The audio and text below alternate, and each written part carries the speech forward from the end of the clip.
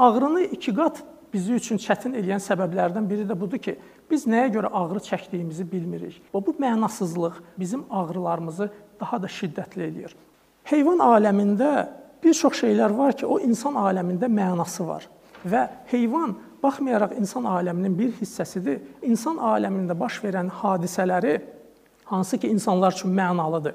Heyvan bunu anlamaq iqtidarında deyil.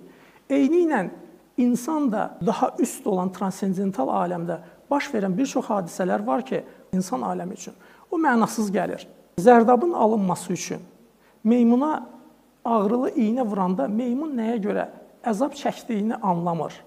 Ancaq bu mənasız görünən ağrı insan aləmində böyük bir mənaya malikdir. Eyni ilə insan da bəzi müəyyən ağrılarla qarşılaşır. Bu ağrılar insan üçün mənasız gəlir, ancaq fövqəl məna aləmində, daha üst bir aləmdə bunun bir mənası vardır.